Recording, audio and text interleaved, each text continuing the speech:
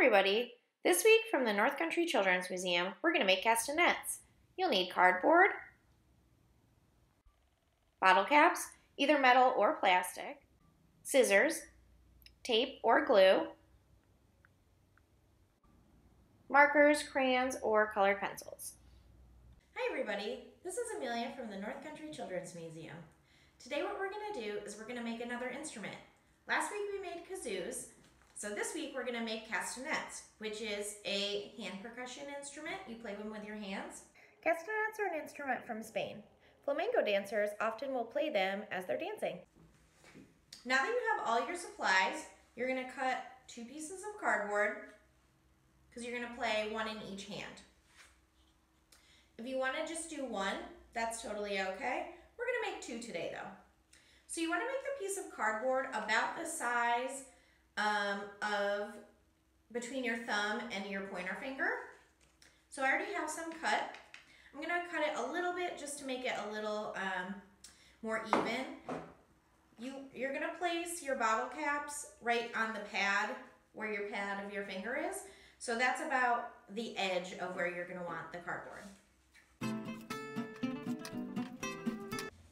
Now that you're done cutting, you can decorate.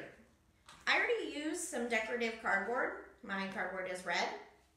If you want to um, decorate, that's totally fine. You can do that. So you can use markers, crayons, um, colored pencils. You don't want anything that's going to stick up though because that'll um, change the way that instrument sounds. Now that you've done all that, you can use either tape or glue. Glue honestly would be a little bit better, but we only have tape here, so we're gonna use tape. And you're gonna put two bottle caps on the edge of all the cardboard.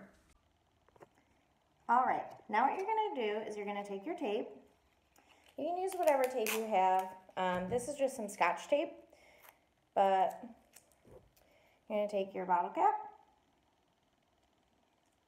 and you're gonna attach it right, oops, right to the cardboard um, you want to attach it with this side up so that it has the most surface area to make your sounds.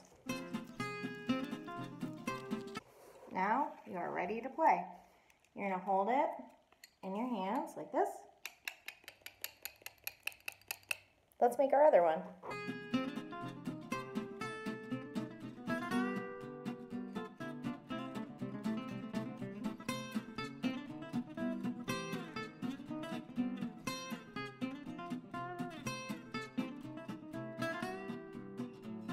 Right, just as a reminder, it's probably best to have metal bottle caps.